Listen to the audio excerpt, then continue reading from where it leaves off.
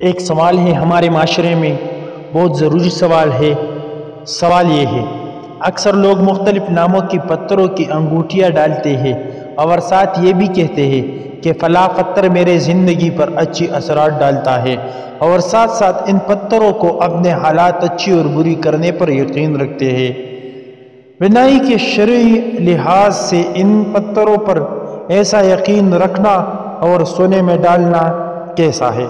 तो जो आप गौर से सुनी वो ज़रूरी सवाल है। पत्थर इंसान की ज़िंदगी पर असरअंदाज नहीं होते। इसके नेक या बद अमल इसकी ज़िंदगी की बनने या बिगड़ने की जिम्मेदार है। नेक अमल या बद अमल? पत्थर इंसान की ज़िंदगी पर असरअंदाज नहीं होते। सुनो, पत्थरों को असरअंदाज समझना मुशरक कौमों का अकीदा है।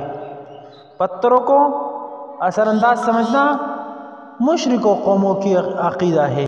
मुसलमानों का नहीं, और सोने की अंगूठी मर्दों को हराम है। मर्दों के लिए सोने का अंगूठी हराम है। दूसरा सवाल ये है, क्या ऐसे अंगूठी जिसमें कोई पत्थर लगा हुआ हो, मसलन फेरोज़ा, अकीक वगैरह, पहनना हराम है या मकरूह है? तो जवाब गौर से सुने, जिस अंगूठी पर कोई पत्थर लगा हुआ हो, इसका पहनना जायज़ है, मगर अंगूठी साढ़े चार माशे से ज़्यादा नहीं होनी चाहिए।